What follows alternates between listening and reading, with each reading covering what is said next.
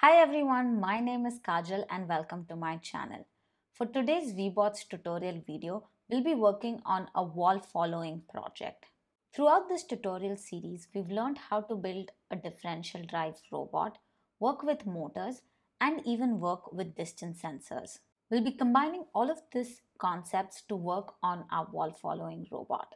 In this Webots tutorial, I'm writing the controller code in C. If you want to see the controller code in different programming languages such as C++ and Python, look for the link in the description below. I'll include all of the timings here and in the description below. So without further ado, let's get into it.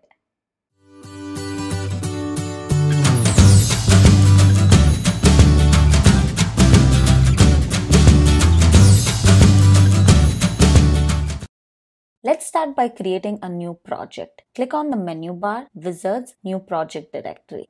Click Continue. Give your project a name. I'm calling it Wall Follower Robot. Click Continue.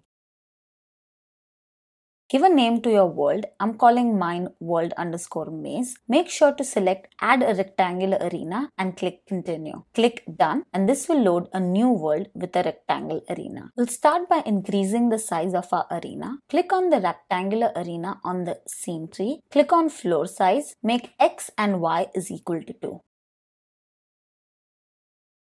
Next, we'll add a robot in our Webots world. To do this, click on the plus sign. Next, type e-puck in the search bar. Select the e-puck robot and click add to add the robot. Make sure to save your work. Next, we'll create a maze using walls. Once again, click on the plus sign and type wall in the search bar. Select wall and click on add to add this wall to our Webots world. As you can see, it created a huge wall. Let's change the size. Click on the wall in your scene tree on the left hand side. Select size and change y is equal to 0.1 meter and z is equal to 0.01 meter. To make it easy to reshape the wall or any object in Webots, let's add the coordinate system. From the menu bar, select View, Optional Rendering and Show Coordinate System. To rotate the wall, click on rotation option under wall on the scene tree. With x equal to 0, y equal to 1, z equal to 0, make your angle equal to 1.57 radians. Next, let's move the wall by changing the translation values. Let's make x equal to minus 0.07 meter. Let's add another wall. Select wall and use keyboard shortcut to copy and duplicate it by pasting. Once again, by changing the translation and rotational values, you can move the wall in different configurations. Using multiple walls, you can build your own maze. If you want to use the maze shown in this video, you can download it from the link in the description below.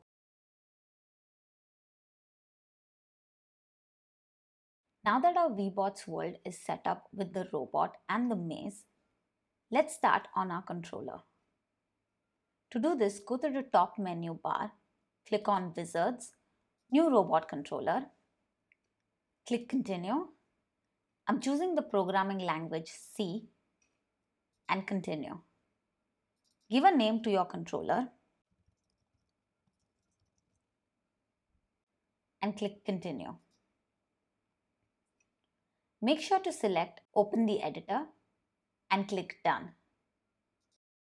As you can see, it will open the controller code on the right side of our Webots window.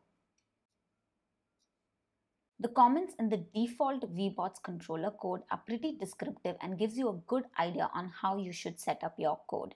For the first part, you will initialize your variables. This includes your motors and sensors.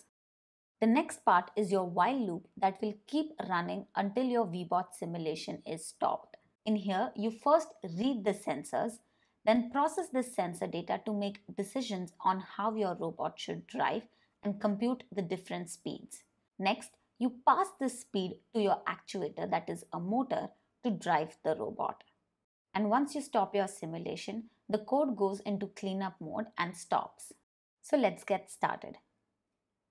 As I mentioned before, the first step is to initialize your motors. To do this, we'll also need to include the motor's header.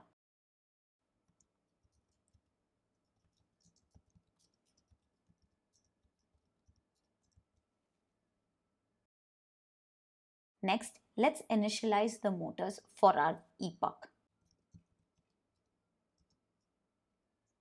I'm choosing to call them left motor and right motor.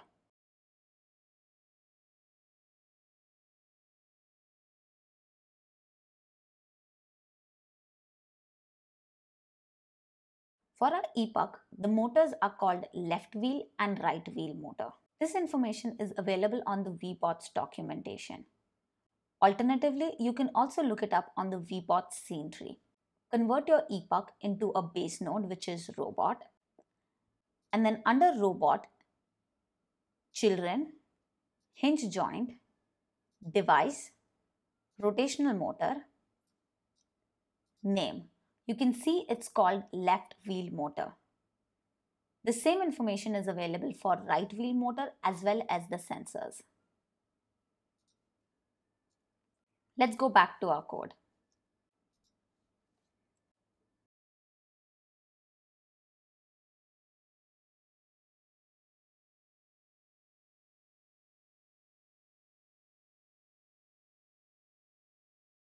To initialize our motor, we'll set the position to infinity and velocity to 0.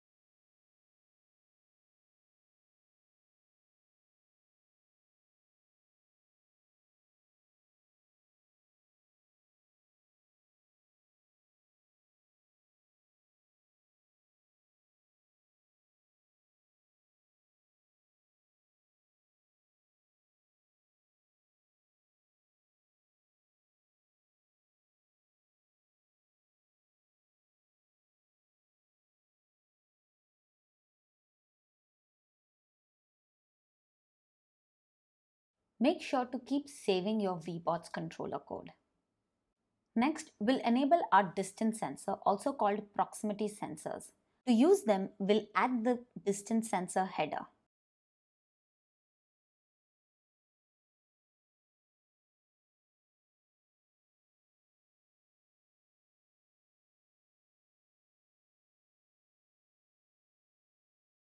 I'm first creating an array of WB device tag type to hold all the proximity sensors. E-puck has 8 proximity sensors from PS0 to PS7. I'm creating a loop to go through all the sensors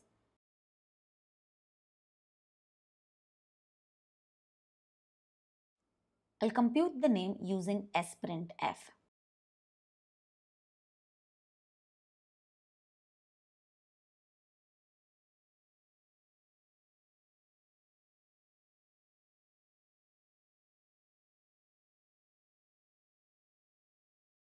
And using WB robot get device to get the sensor.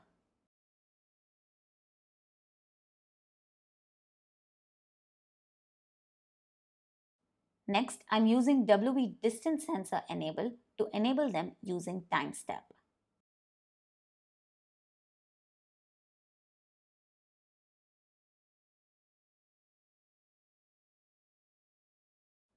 Because I'm using sprintf, I'll include the stdio header file.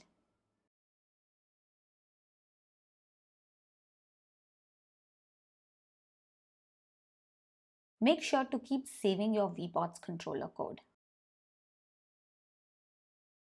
For the wall following project, we'll only be making use of three sensors. Sensor 5 to detect the left wall, sensor 7 to detect the front wall, and sensor 6 to detect the left corner which will be helpful to ensure the robot doesn't get too close to the wall. To obtain the value of sensor, we'll use WB distance sensor get value.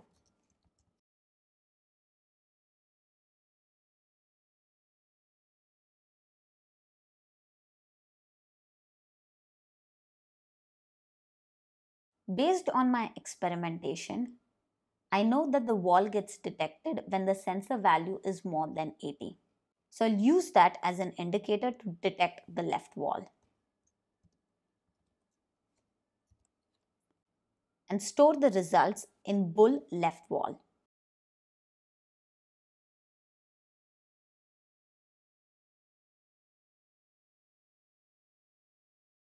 Similarly, I'll create left corner and front wall variables.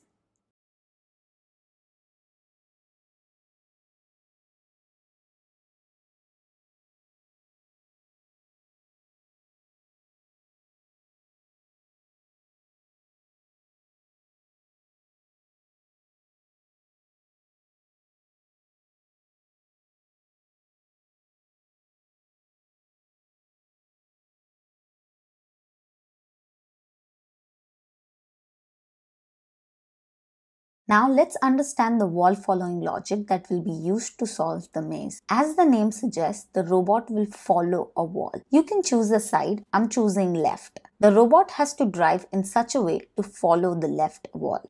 When the wall is on its left and there is nothing in front of the robot, it can simply drive forward. If it detects a wall in front of the robot, it is essentially in a corner. It should drive right to continue. Now, if there is an upcoming left turn, the wall on the left side will disappear. So if there is no wall on the left, the robot has to take left. And the same concept will also work for a U-turn. This brings us to the last case. That is, there is no wall on the left hand side and there is a wall in front of the robot. Since we are following the left wall, our robot needs to turn such that the wall is on the left side. This can be done by simply turning right on the spot. With this understanding, now let's compute the speed for left motor and right motor. In Webots, E-puck drives at a max speed of 6.28. Let's create that as a global variable.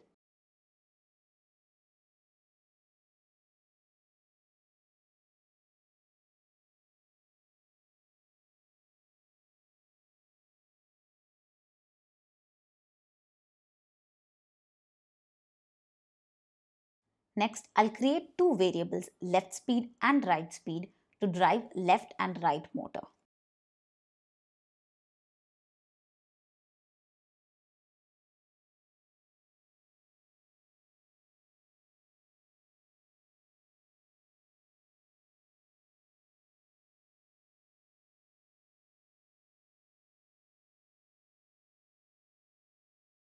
Amongst our four cases, we can see that there are two cases wherein if the wall is in front of the robot, the robot should drive right so that it can follow the wall on the left side.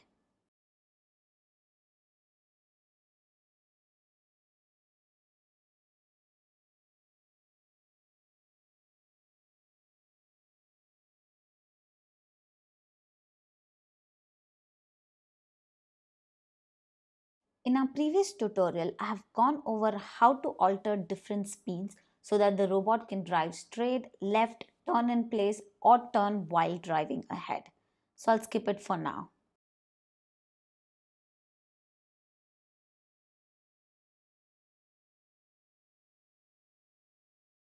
Else, that is to say there is no wall in front of e-puck, then the robot should decide if there's a wall on the left side or not.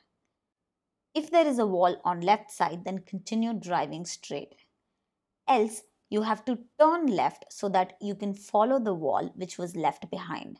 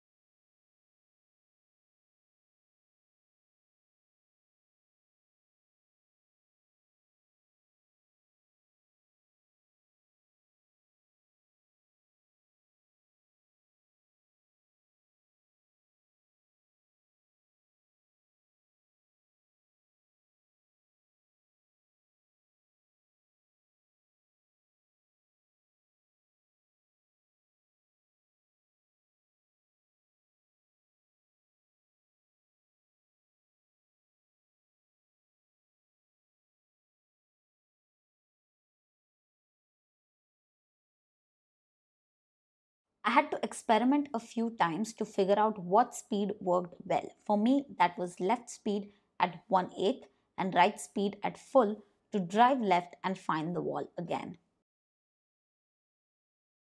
The last step is to give the speed to our actuator, which is motors for e-puck, to drive it ahead.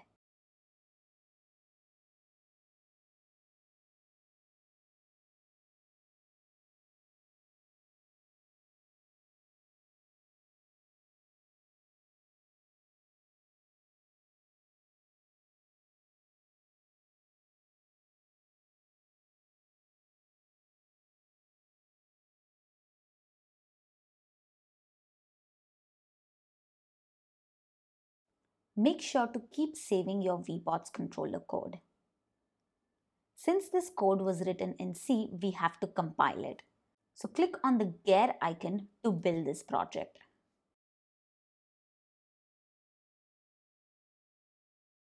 As you can see, I have generated an error which seems to be a typo.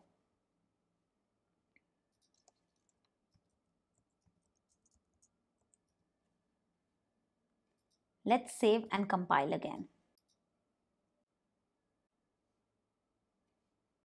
Before we can run the Webot simulation, make sure to change the controller for your robot in the Webots world. So go to the Webot scene tree and under robot, look for controller. Click on select and make sure to select your code. Click OK and make sure to save your Webots world. Now let's run the Webot simulation by clicking on the play icon.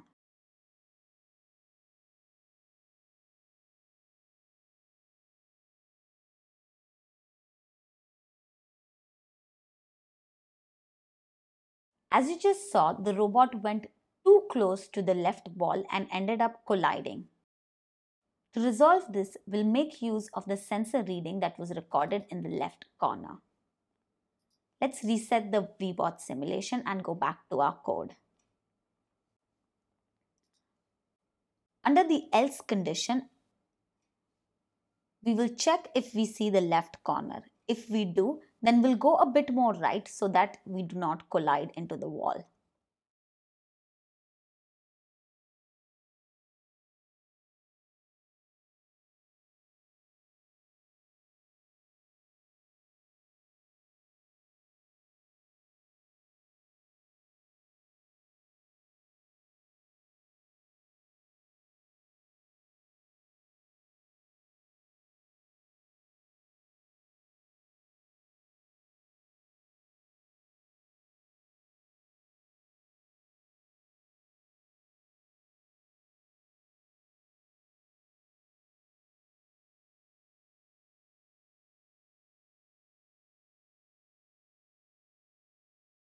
Make sure to save your Webots controller code and build it again.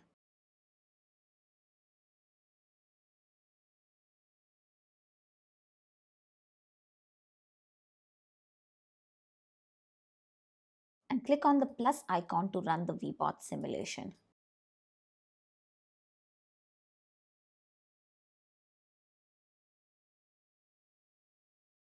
And as you can see, it does much better now.